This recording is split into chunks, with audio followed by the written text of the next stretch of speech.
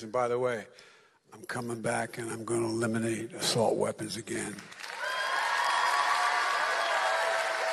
I promise. I did it once.